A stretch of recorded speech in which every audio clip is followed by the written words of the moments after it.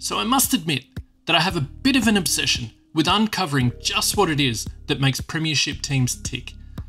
I pore over the stats and try to find some common denominators, some defining markers that measure up for each side that is fortunate enough to hold the Premiership Cup aloft at the end of September. But there was always something missing a stat that I couldn't find, or a number that didn't quite add up. That is, until I discovered the content at Wheelo Ratings, who just so happened to have everything I was looking for and more, with the added bonus that I could download their data via an Excel spreadsheet. Let's dive in and have a look at the results. Welcome to AFL Insight. After analysing 13 years worth of data, I came up with six Premiership parameters. First up is territory. Getting the game on your terms and in the forward half of the ground is half the battle. And we can measure this by metres gained differential per game. Secondly, we have inside 50 differential per game.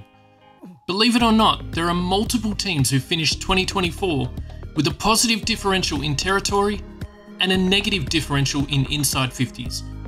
So not only is it imperative to get the game going your way, teams also need to get the ball in a bit deeper to create scoring opportunities.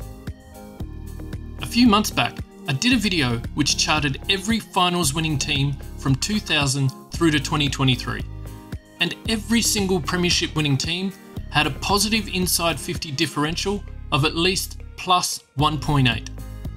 If your team can't get it in more consistently than their opposition, they're just not winning the flag.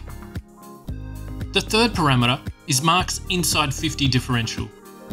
You either need to have some key forwards that can clunk the ball, like Hawkins and Cameron, Daniher and Hipwood, Riewoldt and Lynch, or have a defensive pairing that can stop the opposition's best forwards, like Lever and May. The fourth measure is shots at goal differential. It seems impossible that this would be the case, but again, there are teams who have both a positive differential in inside 50s and marks inside 50s, but a negative differential in shots at goal. Now, the first four parameters focus more on the attacking side of things and being able to get the ball and the game played in the forward half of the ground. But winning the ball back has become just as important, so intercept differential per game is our fifth parameter. Lastly, and perhaps most importantly, is what happens once a team creates those turnovers and intercepts the ball. Scoring from turnover has become a crucial part of modern footy, with five of the last six premiers ranked number one in the league for this differential, whilst the other was ranked second. A highly contested and pressure filled game causes mistakes, and the team that can capitalise on those mistakes are far more likely to finish the season higher up the ladder.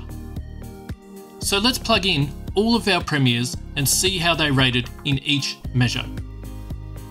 The 2024 Lions were dominant in every measure except for intercepts, but still had a positive differential in each category. The 2023 Pies were less convincing, which led to a closer grand final result. But still, they also had a positive differential in each measure. The 2022 Cats were clearly the most dominant Premier of the last decade and a half, posting huge numbers in all categories. The 2021 Ds were also strong across each indicator. Richmond's back to back campaigns in 2019 and 2020 saw them have a positive differential in each parameter. What's interesting is that the Tigers' numbers in 2018 were at their strongest across their dynastic run, but they failed to make the grand final. The 2018 Premier in West Coast would also have green lights across the board. The Tigers' first flag in 2017 had positive differentials in each category. There was no data for scores from turnover in 2016, but I'm sure the Dogs would have rated well in this area as their scrappy style laid the foundation for Richmond's all out ground ball attack. The Doggies were less dominant in turnover and marks inside 50, but still scraped in to have positive differentials in each measure. The Hawks trilogy was all green lights as they dominated the competition in every key area. And finally, the 2012 Swans were also strong across the board. Now, like me, you might be saying to yourself that there are probably 8 or 9 teams each year that have positive differentials in each of these key statistics. Not so, I'm afraid. Let's line up each team from 2024 alphabetically and eliminate them category by category. Instantly, we have 8 teams eliminated as the Crows, Pies, Bombers, Suns, Demons, Kangas, Tigers, and Eagles would all fail the territory test, leaving us with our 8 eventual finalists, as well as the Dockers and the Saints. When we move to our next category, we lose the Saints, the Blues, and the Giants, who would all register negative differentials for inside 50s.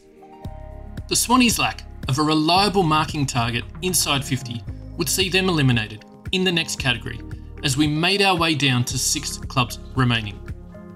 All six teams would survive the next round as all would record positive differentials in shots at goal.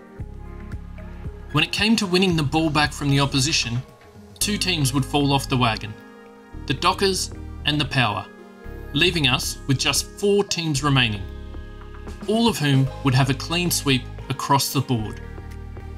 The Lions, who would win the flag, the Cats, who had a 25 point third quarter lead against the Lions in the prelim, and the Hawks and Dogs, who both barnstormed their way into September and looked capable of winning the whole thing.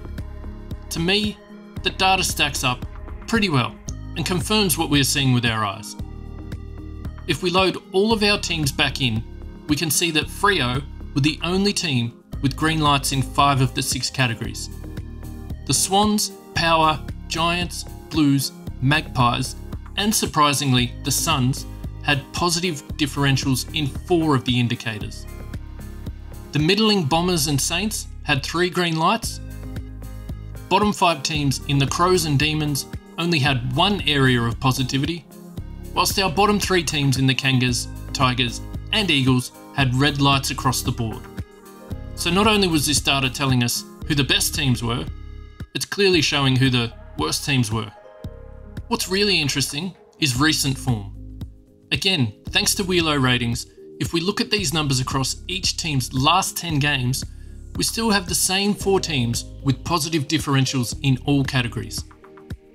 Fremantle also still had five green lights, but this time they are joined by the Saints, who finished the year strongly and knocked off the Cats, Swans, and Blues in the process. The Power and Suns remain locked on four out of six measures completed, whilst the Giants and Blues would join the Bombers in having only three categories with a positive differential. Many are high on the Pies coming into this season, but their late season form was a concern, going 5 and 5 over their last 10 matches, with 3 of those victories by less than a goal. They would have positive differentials in only 2 of the key stats, with their negative 7 inside 50 differential really standing out. The Crows remained on only one category lit up, and astonishingly, joining them was the Swans. Sydney had a positive differential of plus 2.3 metres gained per game, which was the only thing that saved them from having red lights across the board. They did have some beltings from Port and the grand final loss, which skewed the numbers, but they still only went 6 and 6 from their final dozen games of the year. The Demons joined the cellar dwellers over the final 10 games, as they did not record a positive differential in any of our Premiership parameters. So there you have it, folks. I'll be keeping an eye on these numbers and posting more about them as the season unfolds.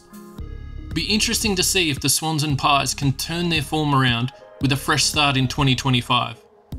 If the Blues and Giants can get back to where they were in 2023, and whether the Saints and Dockers can take the next step and push themselves into actual contenders. As always, thanks for watching, and if you like this sort of content, please make sure to like and subscribe, and we'll see you next time.